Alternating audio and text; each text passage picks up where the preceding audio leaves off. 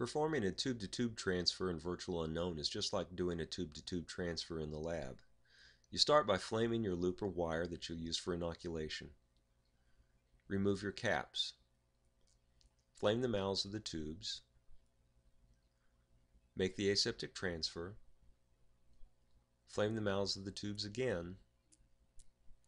Replace the caps and flame your loop or wire.